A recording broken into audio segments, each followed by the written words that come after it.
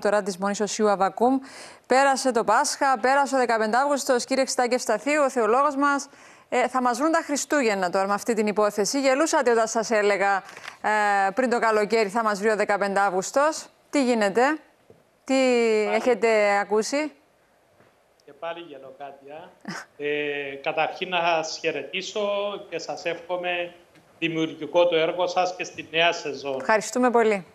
Λοιπόν, ε, όντως, ε, εντάξει, πήρε κάποιο διάστημα η διαδικασία. Μάλιστα, σε μερικές περιπτώσεις υπήρξε και αυτή η ανατροπή για την οποία μιλήσετε προηγουμένως. Όμως, ε, το πιο σημαντικό είναι ότι τώρα οδεύουμε προς το τέλος. Δηλαδή, μπήκαμε στη διαδικασία της εκδίκασης από το εξαμελές συνοδικό δικαστήριο. Υπήρξε μια αναβολή, μια αναμενόμενη βέβαια, η οποία, την οποία ζήτησε ο συνήγορος των κατηγορουμένων. Ορίστηκε νέα συνεδρία της 9 του μήνα και πιστεύω ότι μπαίνουμε στην τελική ευθεία πλέον. Γιατί το λέω αυτό, διότι έχουμε πλέον στα έχει η Επιτροπή, η Εξωτερική Συνοδικό Δικαστήριο, Ναι. στα χέρια του ένα ξεκάθαρο κατηγορητήριο, το οποίο είναι πολυσέλιδο, ε, είναι συγκροτημένο και πολύ διαφωτιστικό για να καταλήξει αυτή η υπόθεση. Ναι.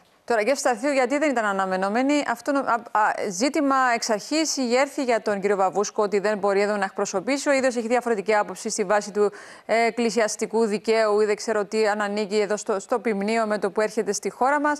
Ναι. Ε, α, δεν είχαν άλλο, άρα αναπόφευκτο δεν είναι να αναβληθεί άμα δεν έχουν κάποιον να τους υπερασπιστεί. Κοιτάξτε, η αναβολή όντως προέκυψε επειδή μπήκε νέος συνήγορος. Ναι. Τώρα, από εκεί και πέρα θέλω να σας διαβεβαιώσω ότι στην παρούσα φάση και το εξαμελές συνοδικό δικαστήριο σε κάθε του βήμα παίρνει η νομική γνωμάτευση. Ε, τα θέματα άπτονται του κανονικού δικαίου που διέπουν ακριβώς ε, Ναι. τα εκκλησιαστικά ζητήματα που ανακύπτουν στην πορεία. Είναι και λίγο ξύμορο. Επομένως, δηλαδή, ε, είναι ιονή δικαστήριο αυτό και ζητάνε γνωμάτευση απαλού. Έπρεπε να έχουν, ας πούμε, Όχι, την κατάρτιση, όταν τη λέω νομική. ότι- Ναι. Όχι, έχουν, τον έχουν, σας διαβεβαιώνω γι' αυτό. Μάλιστα. Αλλά για να είναι, θα έλεγα, να μην υπάρχει καμιά αμφιβολία, αυτό θέλω να τονίσω. Ναι, ναι, ναι. Ε, μην νομίζουμε ότι έχουμε να κάνουμε με αδαείς ανθρώπους κλπ.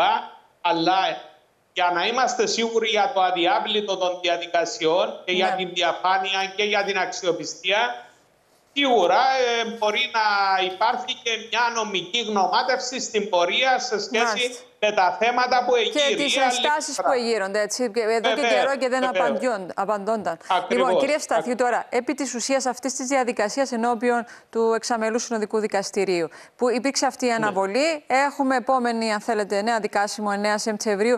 Εδώ διαδικαστικά θα έχουμε μάρτυρες, δηλαδή θα εμφανιστεί ενώπιον του δικαστηρίου ο Μητροπολίτης Ισαία.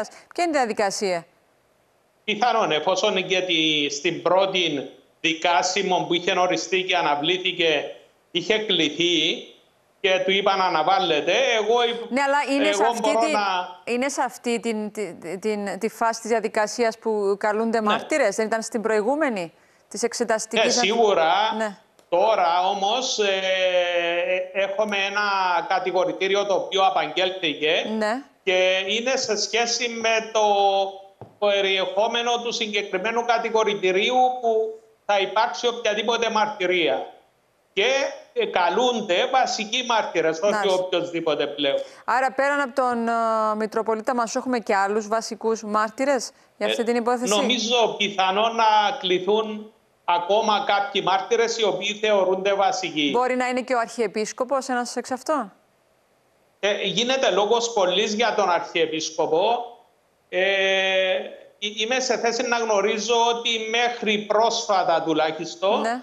δεν είχε πάρει οτιδήποτε στα χέρια του που να καλείται για να καταθέσει ως μάρτυρας. Μάλιστα. Άρα τώρα θα καταθέσει ε, ως μάρτυρας ο Μητροπολίτης ε, ή, ή και άλλοι που θα κληθούν και εν συνεχεία και άλλοι που θα κληθούν. θα απολογηθούν. Είναι, είναι τρεις εντωμεταξύ οι μοναχοί, σωστά; Ναι, ναι, ναι. Οι δύο Είναι οι αρχιμανδρίτες δύο, και- ιερο... Ναι. οι δύο αρχιμανδρίτες και ο Ναι. Όλοι μοναχός, το, ο το Αββακούμ. κατηγορητήριο είναι το ίδιο για όλους, ηθικά, Όχι, παρα- όχι.